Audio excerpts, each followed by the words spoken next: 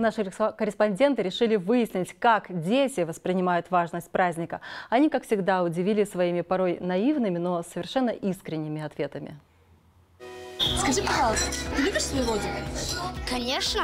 А за что ты любишь свою родину еще? Минимум за то, что мне дают образование. На- начиная, э, заканчивая, что мне Родина дала э, весь ум, э, что я сейчас употребляю. Я никогда не брошу мою страну. Я посвящаю мои первые места и все места моей бабушки и моей стране. Праздник, что, чтобы отдыхать и чтобы а, что-то хорошего покушали. Здорово, что Казахстан большая страна.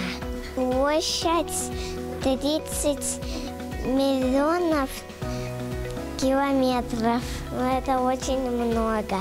Насколько это круто представлять свою большую-большую страну? На сто процентов. На сто процентов? А что ты чувствуешь, когда об этом думаешь? Любовь.